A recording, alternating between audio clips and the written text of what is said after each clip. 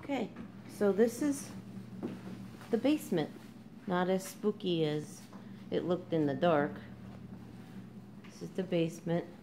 Please nothing jump out at me, okay? This is the woo basement. Okay, I'm getting a funny feeling. I'm not gonna stay down here long.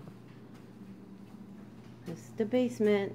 I'm doing especially for my wonderful friend Avi. This is spooky. I'm not staying here long. And get a spooky ooky feeling. Whoa. Okay.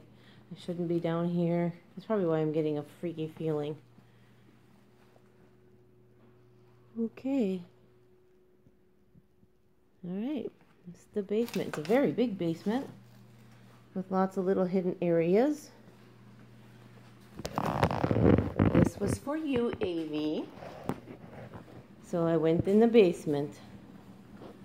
Okay, love you guys.